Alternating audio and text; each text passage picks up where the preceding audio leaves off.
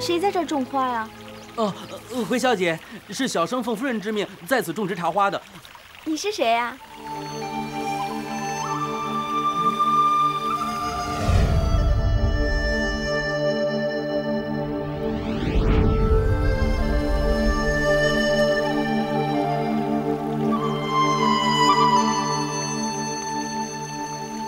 神仙姐姐，我想你想的好苦啊。呃，弟子段誉拜见师傅。你干什么？小姐，他是阿朱带来的那个书呆子，他说会种茶花，夫人就信了他的胡说八道。你这个呆子，谁让你姐姐妹妹乱叫的？你你怎么叫我神仙姐姐呀？我不叫你神仙姐姐，那我叫你什么呀？我姓王。你就叫我王姑娘吧。不行不行不行不行，姓王的姑娘千千万万。像姑娘这样的天仙，不叫你神仙姐姐，叫你王仙子。嗯，这话好像有点俗气啊。哎，叫你曼陀公主，嗯，也不好。大宋、大理、辽国、吐蕃、西夏，哪一国没有公主啊？哪一个可以跟你相比啊？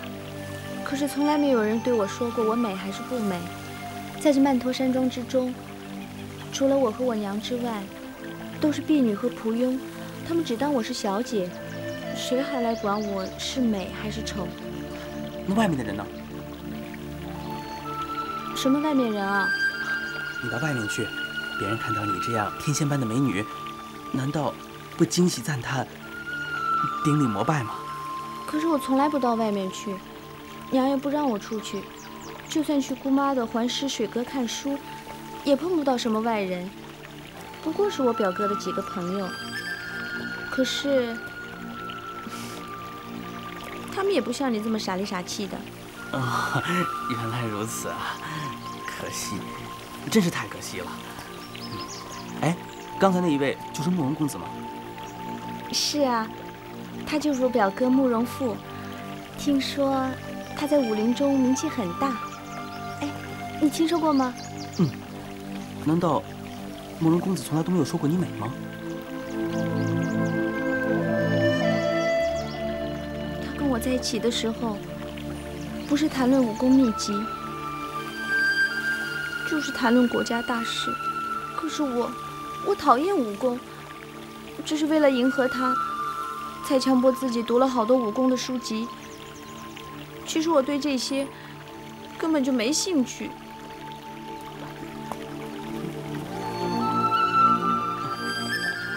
太好了，我也讨厌武功。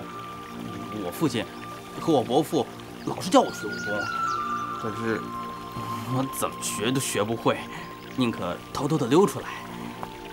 其实，你敢为你表哥读那么多的武功书籍，已经是很不容易了。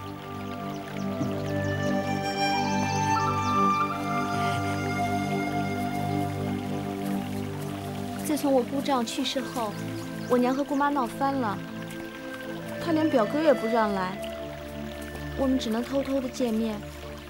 可是难得见一面，他还是想着那些武功秘籍和国家大事。那你父亲呢？我还没出生，他就去世了。我从来没有见过他一面。呃，你姑妈是你父亲的姐姐，你姑丈是你姑妈的丈夫，他就是你姑妈的儿子。嗯，对呀，我是我娘的女儿，他是我的表哥。嗯，瞧你这人傻里傻气的，净说些没用的废话。好了，我在这里逗留的时间太久了，我走了。嗯，哎。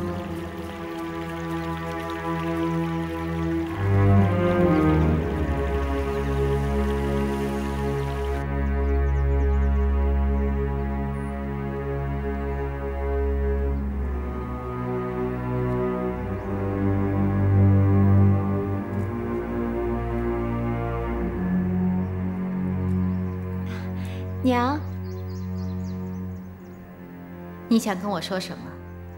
要是跟慕容家有关，我可不听。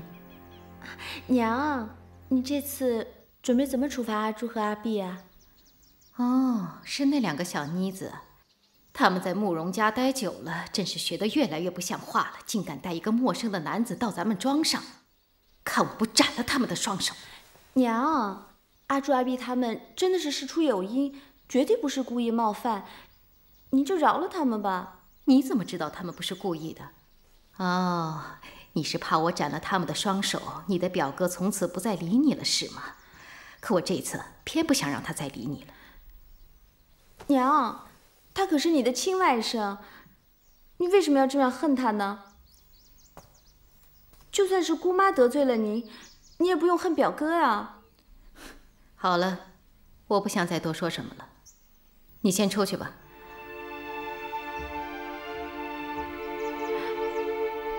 是，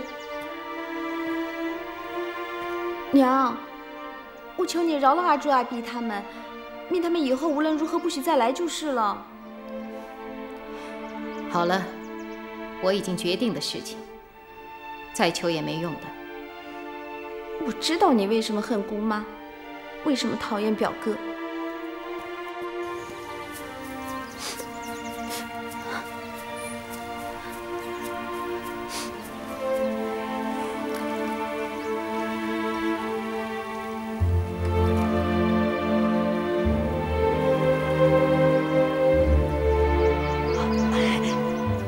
王姑娘，你怎么了？娘说为了你的事儿要剁掉阿碧阿朱的手啊！什么？我怎么劝也没用。那该怎么办呀？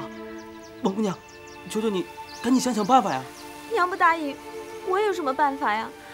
他本来就是和我表哥作对，这次我表哥去和丐帮比试，说不定会有危险。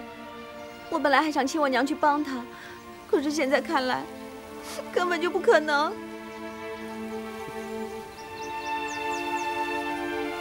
慕容公子有危难，哎，你懂那么多的武功，你怎么不去帮他呀？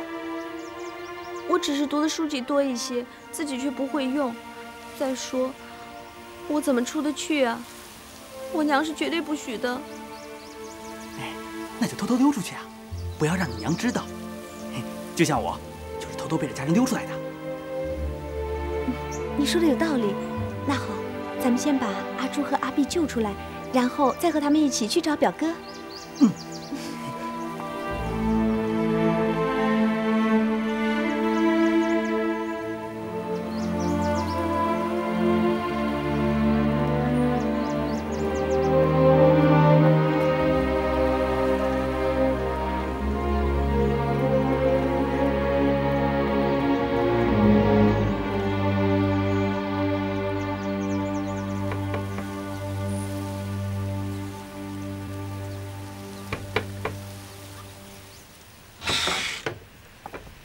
哟，是小姐来了，请进吧。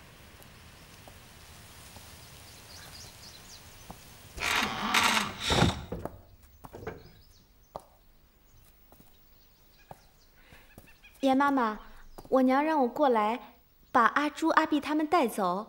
嗯，说有话要问他们。是吗？哼，那好啊，小姐，你先来帮我把他们两个捆绑起来，再带走。来，给你绳子。严妈妈，你要干什么？王夫人早就说过，要杀了这两个丫头做花肥，怎么会改变主意呢？小姐，你太小看我严妈妈了啊！你是谁？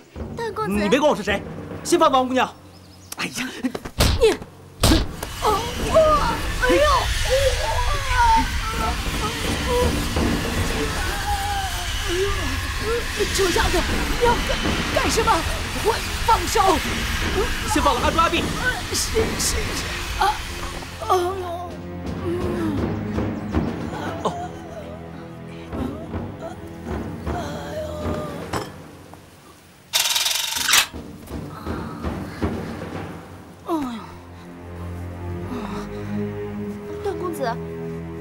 会使吸星大法这样污秽的武功啊？这呃，这是我们家传的六阳融雪功，和吸星大法完全是不同的。正所谓，正所谓一正一邪，一善一恶，是不可同日而语的。嗯，哦，快，我们走走，快走走。